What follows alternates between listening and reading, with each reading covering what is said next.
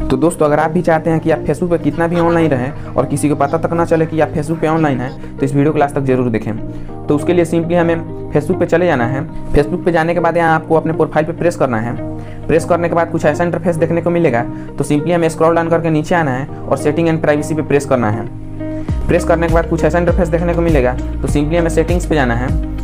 और सेटिंग्स में जाने के बाद यहाँ प्रोफ़ाइल सेटिंग पर प्रेस करना है, उसके बाद स्क्रॉल डाउन करके नीचे आना है और एक्टिव स्टेटस पे प्रेस करना है। तो बाय डिफ़ॉल्ट ये सेटिंग आप में इनेबल होंगे तो सिंपली हमें इसे डिसेबल कर देना है। डिसेबल कर देने के बाद आप कितना भी फेसबुक पे ऑनलाइन रहेंगे और किसी को पता तक नहीं चलेगा कि आप फेसबुक पे ऑनलाइन हैं।